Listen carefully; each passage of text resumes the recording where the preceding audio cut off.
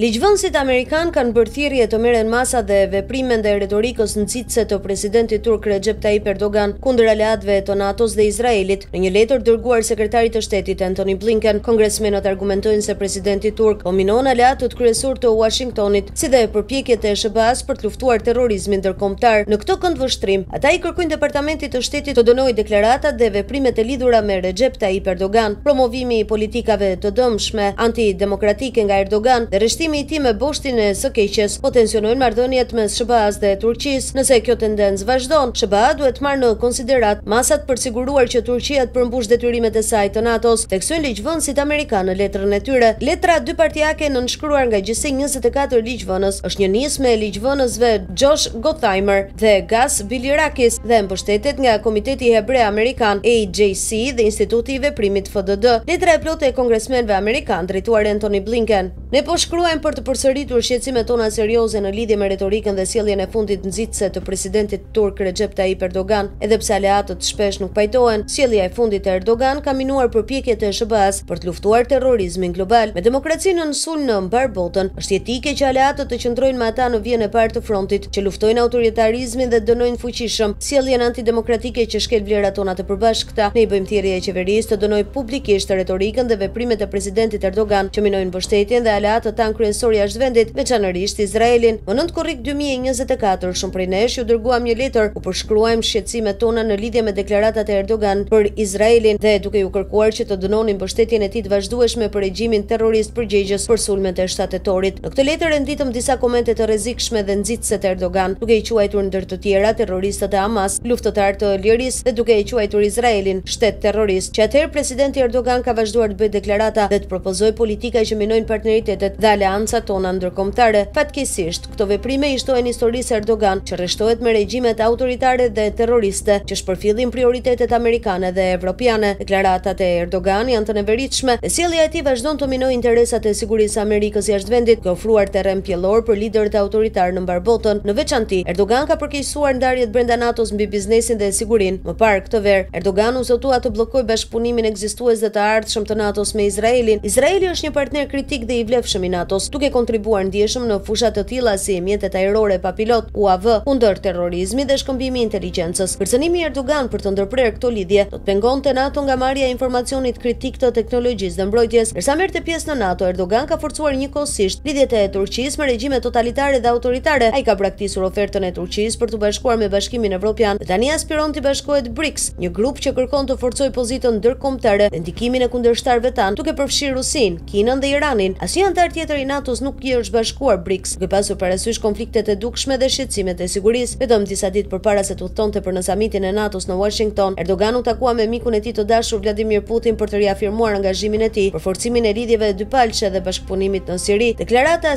Këto, minojnë drejtpërdrejt mbështetjen e SHBA-së për mbrojtjen e Ukrainës kundër pushtimit të paprovokuar të Rusisë dhe kundërshtimit të regjimit Assad, i cili kryen disa nga abuzimet më të këqija të drejtave të njeriut në planet, promovimi i politikave të dëmshme antidemokratike të Erdogan dhe rreshtimi i tij me boshtin e së keqes, po tensionojnë marrëdhëniet midis Shteteve të Bashkuara dhe Turqisë. Nëse kjo prirje vazhdon, Shtetet e Bashkuara duhet të marrin në konsideratë masat për të siguruar që Turqia të përmbushë detyrimet e saj të NATO-s, ndërsa ruajtja e unitetit të NATO-s është thelbësore, retorika e fundit e Erdogan kundër Izraelit dhe miqësia ndaj Rusisë nuk mund të injorohen. Ne i bëjmë thirrje qeverisë të dënojë publikisht retorikën dhe veprimet e presidentit Erdogan, që minojnë mbështetjen për aleatët tanë kryesorë jashtë vendit, veçanërisht Izraelin.